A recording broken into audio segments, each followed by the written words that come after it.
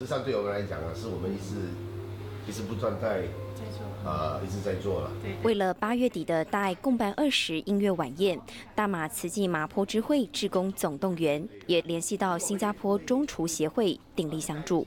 小祥连他有一天他放在面子书啊 Facebook 啊，连我就看到他要招好厨师，我就通过我的洪尔信大师，连我跟他商量过啊，讲他都是义不容辞，都说 OK 吧，做慈善。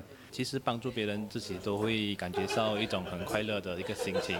如果有时间、有能力去帮助更多人的话，那么我觉得是很好的事情。一厨团六十人，来自五个国家，都是自费自驾，首次挑战纯熟食宴客菜。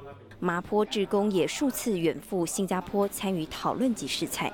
我们每个师傅都有在开会前都有必须要负责每道菜的三样东西，我们来挑选一个菜肴来来把它做这个呃素宴。不管是在食材的选用、呈现的手法、分量的控制呢，都有一定的一个挑战。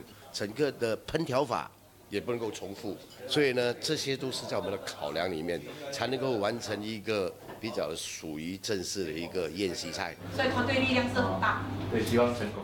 名厨们各展厨艺，发挥专业，为慈善献力。